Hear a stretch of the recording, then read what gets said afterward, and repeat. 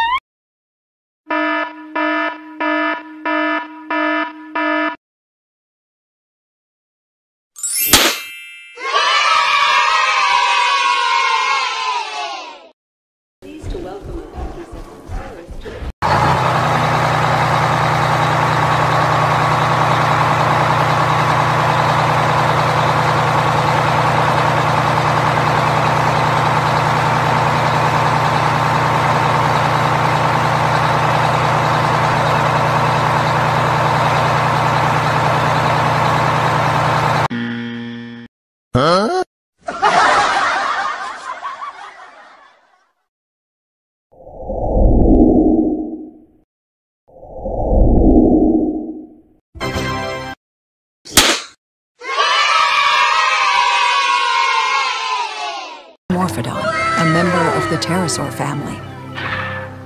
It is a fairly poor flyer, mainly due to its shorter wingspan. It relies on frantic short flights.